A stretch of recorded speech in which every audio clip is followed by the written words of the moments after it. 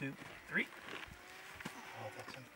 Oh, And what we're doing here, we're standing, So now- sitting in exposure of the Ozan Formation here in North Texas, up in Fannin County. And uh, we're sitting here in front of us are a bunch of bones of a 79 to 82 million year old 30 foot marine lizard. We have jaw bones, we have bones from the spine, probably have some bones from elsewhere in the skull and other parts of the body starting to show up here. Can I have the hand pickaxe? This is a joint in the middle of the jaw here. And then the tooth bearing bone of the jaw, we traced all the way out to here. And so there's the entire one of the lower jaws of this animal, from way down there to way down here.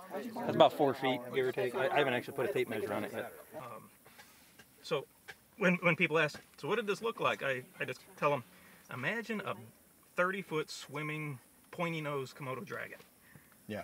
with a, with a, with a forked tail. With flipper. Yep, with flippers and a forked tail.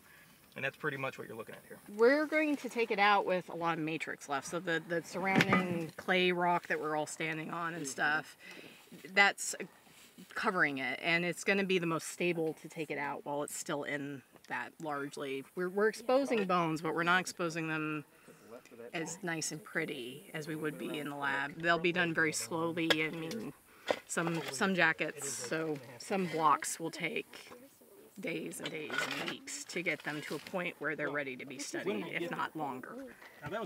I just love all of it. Field work is just like Yeah, they did. it's the best. so just getting to dig it out, discover it, and, you know, it's like a puzzle the whole time you're working it. You never know where it's going to lead. And so as you dig further back, you discover more, you find more, and it's just like there's all these little exciting moments along the way that just keep you kind of drawn in and sucked into the process. It's also a good workout. Love putting in some labor, just kind of moving some rock out of the way, and it's just overall a fun process. So.